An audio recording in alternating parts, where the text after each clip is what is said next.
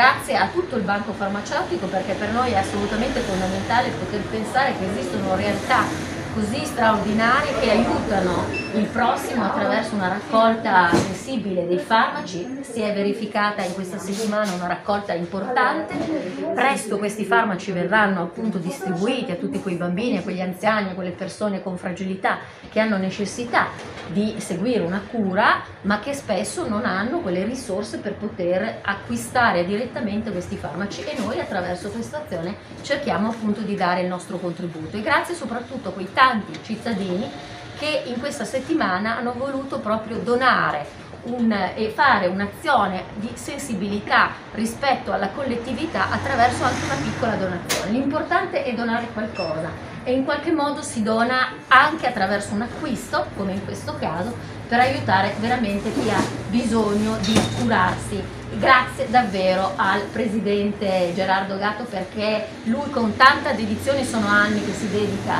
a questo comparto insomma, di solidarietà del terzo settore e i risultati davvero sono assolutamente gregi. Grazie.